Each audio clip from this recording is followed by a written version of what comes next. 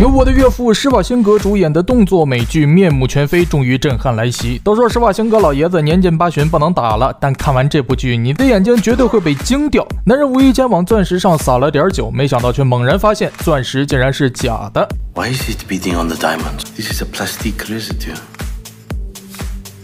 from an explosion. No, no, you're mistaken. You don't own a diamond concern. 原来不久前，中情局的顶级特工芬恩接到任务，用钻石引出国际非法贩卖人口组织的位置。不料交易过程中，因为一个小意外，导致芬恩的身份当场暴露。意识到被骗的男人立刻让手下对芬恩进行搜查，谁知只搜出了一粒小药丸。见此，芬恩不但没辩解，反而直接坦白了自己的身份以及药丸的作用。药丸正是他任务失败时自杀用的。男人逼芬恩吃下药丸，结果等了半天都没有任何反应。男人还以为是自己被耍了。Come to think of it, I might have taken the antidote.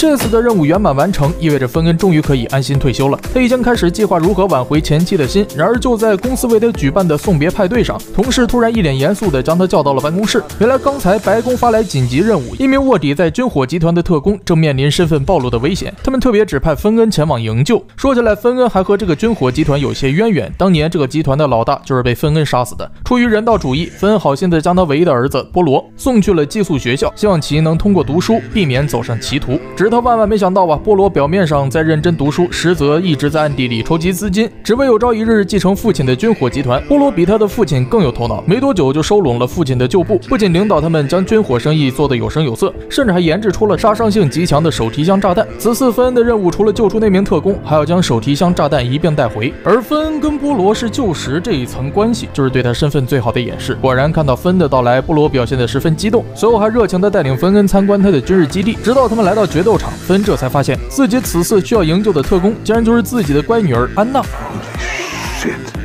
Holy shit. Holy shit. 安娜显然也很意外父亲的到来，因为芬恩一直骗家里人说他只是一个普通的生意人，结果竟然是中情局的特工。不过现在不是争论这些的时候，他们必须赶紧想办法离开这里。于是到了深夜，安娜偷偷藏进奶牛的肚子里，并埋伏在小喽啰的必经之路。等到小喽啰们上前查看时，安娜迅速出刀干掉对方，同时芬恩也快速解决掉另一名小喽啰。等第二天小喽啰的尸体被人发现时，波罗第一时间怀疑到了芬恩的身上，毕竟基地一直以来都是好好的，偏偏芬恩刚来就出了这样的大事儿。可他没来得及质问芬恩，芬恩就直接偷走手提箱炸弹跑路了。波罗好不容易追上几人，二话不说就挟持了安娜。此时救援部队还没有赶到，芬恩只好想方设法拖延时间。为此，他不惜说出波罗父亲死亡的真相，用来激怒对方。果然，波罗被刺激的彻底失去了理智。正当他准备扣动手中的扳机时，却看到芬恩用手指了指他的身后，原来是救兵来了。面对居高临下的射击，几乎没有小喽啰能在这密集的子弹雨下存活。正所谓留得青山在，不怕没柴烧。波罗见状，果断开车跑路，但中情局并不打算放过他。他们追查到波罗的最新动态，居然是乘坐飞机驶入了一片风暴区域，不出意外，必定尸骨无存。但芬跟安娜同时看出，这是对方故意在误导大家，极有可能是他在进入风暴时就关掉了应答器，好营造出机毁人亡的假象。如果现在波罗还活着，即便他们从波罗那儿偷走了威力强大的手提箱炸弹，但很快他会造出第二个。由于各国核材料都受到了严格的把控，接下来波罗的目标只能是核废料。果然，没过多久，局里就得到消息，波罗的一名手下已经抵达了哈萨克斯坦。明天该地区刚好有一堆核废料，将由磁悬浮列车运输至储存点。其装卸过程的安保十分严格，波罗想要偷走核废料，必然会在列车里安插内应。所以此次行动，他们除了盯梢外，还要时刻注意车厢里的异样。如此豪横的恐怖分子，你一定没有见过，居然开着一辆直升机，光明正大的来抽取列车里的核废料。不过中情局也不是吃素的，当即派出两位顶级特工前往阻止。此时，芬恩父女俩扮作普通乘客，正不动声色地搜寻着车上恐怖分子安插的卧底。突然，这时一辆直升机从窗外飞过，不出意外，应该是菠萝开始行动了。果然，芬偷偷爬到车顶一看，装核废料的车厢已经被连接了一根导管。根据计算，只需要十二分钟，直升机就能将核废料抽完。听到父亲带回来的消息，安娜顿时就坐不住了，她竟然想直接冲出去，将对方的直升机击落。好在被芬恩及时制止，因为哈萨克斯坦属于农业大国，如果击落直升机导致核废料泄露的话，那么周边几公里的土地将再也无法耕种，进而致使成千上万的人饿死。但难道就任由他们抽取核废料跑路吗？这时芬恩灵光一闪，想到了一个绝佳的办法：列车最快的行驶速度能达到四百三十千米每小时，如果让列车的速度快于直升机的速度，那么对方就不得不分离管道。可当父女俩来到驾驶室后，才发现驾驶员竟然是恐怖分子头目波罗安插的卧底。父女俩好不容易合力将驾驶员制服，加速按钮却遭到了严重破坏。他们不得已只好向总部发起求助。根据总部反馈来的信息，现在他们唯一的办法就是向磁铁轨道注入冷却剂，因为磁铁轨道的温度越低，行驶的速度就会越快。可总部没说要开几罐冷却剂，索性分一股脑的全开了。这下直升机倒是甩开了，但列车的速度再也下不来了。要知道，列车上还有大量的核废料，如果到达站之前还没有停下，整个列车乃至大半个城市的人都要因此丧命。安娜认为，既然冷却轨道能使列车加速，相反加热轨道就能使列车减速。现在列车上正好就有现成的核废料，将其注入驾驶室，或许就能解决这场危机。那么首先就要拿到车顶上的导管，可以列车现在这个行驶速度，估计刚上车顶就会被风吹跑。好在芬恩带来了磁吸背心儿，随后父女俩隔着车顶艰难爬行。眼看安娜距离管道越来越近，此时她必须站起身来才能抓住。于是她要求芬恩解除磁吸，但芬恩哪里肯答应？女儿这分明就是在送死。If I don't get this thing, we all die anyway. Yeah.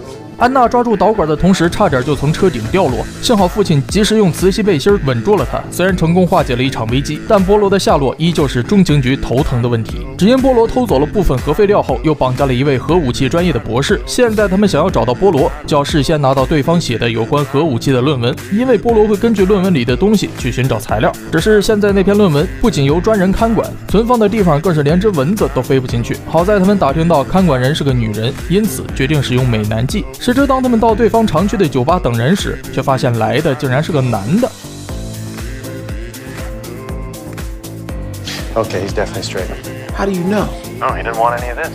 那没办法，这次只能让安娜上场。不出意外，对方很快上钩。安娜跟着对方来到他的宿舍，趁着对方不注意，安娜赶紧打开中情局制作的用来窃取手机信息的游戏软件。谁知对方的手机里保存的竟然全是小电影。眼下安娜只能想办法进对方的卧室查看，为此她不得不再牺牲美色。然而她好不容易将看管人伺候睡着，起来寻找资料时，身后突然响起了子弹上膛的声音。Who do you work for? 好在安娜头脑反应迅速，立马跟对方分析起了论文被盗走的厉害。于是看管人不得不放安娜走，以此让她闭嘴。拿到论文后，中情局推算出了波罗的下一步行动必定是小型核反应堆。不过各国对核反应堆都管控的十分严格，只有少数私营企业和研究机构才有。想要引出波罗，只能找人拿东西去跟波罗交易。而从事灰色地带产业的丹麦哥正是不二选择，但他们首先要将人从土耳其监狱里营救出来。几人分头行动，小黑只用牙膏加硫酸就打开了监狱的墙壁，顺利将丹麦哥解救了出来。上了飞机后，他们开始跟丹麦哥谈条件，只要丹麦哥肯答应帮忙引出波罗，他们就归还对方最想要的自由。丹麦哥想到许久未见的儿子，最终还是答应了下来。恐怖分子为了确认卖家的身份，让其做出指定的动作，但这次来的卖家是中情局找人假扮的，因此差点就露馅儿。After ini taheria dis jazz. Taktilika opla.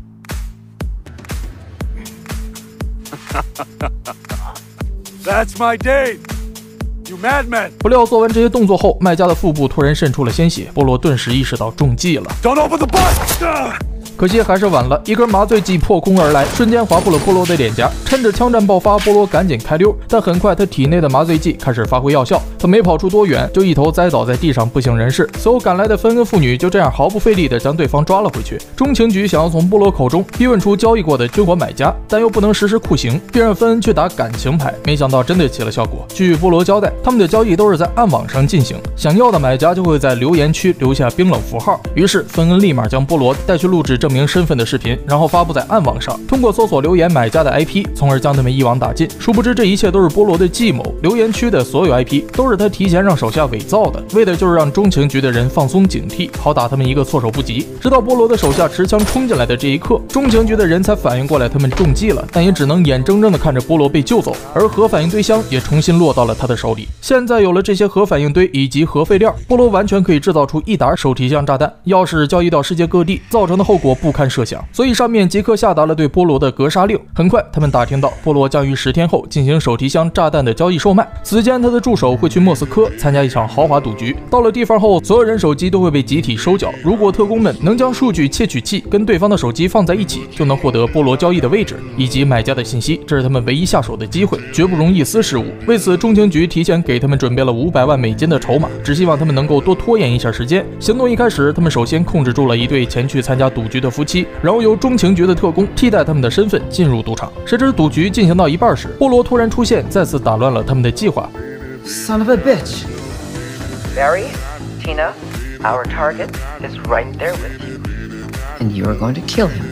但菠萝并没有上桌赌牌，而是跟老板谈事儿去了，所以他们一时半会儿根本找不到机会下手。直到菠萝的助手跟另一位牌友发生了争吵，眼镜妹则趁机提出给大家调杯酒缓解一下气氛。接着他便来到吧台，偷偷调了一杯毒酒，毒酒自然是为菠萝准备的。不料菠萝没有喝，反而被另一位牌友给误喝了。如果此时对方毒发身亡，他们的身份一定会暴露。无奈他们只好诬陷对方偷牌作弊，这样排场的人就会将人带下去进行处决，而他们也能顺利带着窃取器离开。通过窃取到的信息，他们得到了波罗的第一个交易地点。芬恩立刻带领特工们出发，然而刚到波罗的地盘，他们就遭到了伏击。好在他们车上放了威力强大的火箭筒，一炮就将小喽啰们轰得连渣都不剩。但期间一名特工还是不幸中弹，芬恩只好让一个人留下照看他，自己则带着女儿前去追击波罗。此时波罗正毫无察觉地打着电话，殊不知芬恩已经来到了他的身后，被芬恩用枪指着。波罗只好举起双手，并对芬恩打起了感情牌，这让芬恩迟迟不忍下手。不料下一秒，波罗的手下一把扑倒了芬恩，波罗则赶紧趁机开溜，手下不是芬芬恩的对手，便掏出手雷想要炸死他，结果反被芬恩握住又丢了回去。随着手雷的爆炸，地道里的温度不断攀升，放在附近的核反应堆也接二连三的被引爆。这样下去可不妙，因为波罗制造的手提箱炸弹就放在中间位置，如果火势蔓延过去，手提箱炸弹爆炸的威力就会让他们全军覆没。总部让芬恩赶紧撤退，但芬恩执意去找自己的女儿。另一边，安娜也得知了事情的严重性，不得不跟波罗暂时握手言和，并用出去就会放过他们作为条件，才终于说服对方跟他合作，寻找出路。很快，芬恩通过摩斯密码找到了女儿的位置，结果安娜刚一被芬恩拉上去，就立马表演了一个变脸，接着跟着父亲头也不回的跑走了。留在下面的波罗只能绝望的等死。本以为任务就此结束，芬恩终于可以安心退休了，哪知就在前妻的婚礼上，波罗竟然再次出现。原来手提箱爆炸后，他并没有被炸死，而是靠着仇恨一直支撑到手下将他挖出来。现在他来找芬恩父女复仇了，他用芬恩前妻的性命威胁父女俩互相厮杀，父女俩也只能乖乖照做。见此情形，前妻突然暴起，掏出一枚徽章，用力刺进了波罗的大大腿。父女俩趁势扣动扳机，直至波罗被打成了一个血人。此时谁也没有想到，波罗在临死前还留了一手，他竟然将查到的芬恩的信息卖给了自己昔日的仇人，其中不乏穷凶极恶的杀人犯以及毒贩。这意味着接下来芬恩他们一家将会面临无休止的追杀。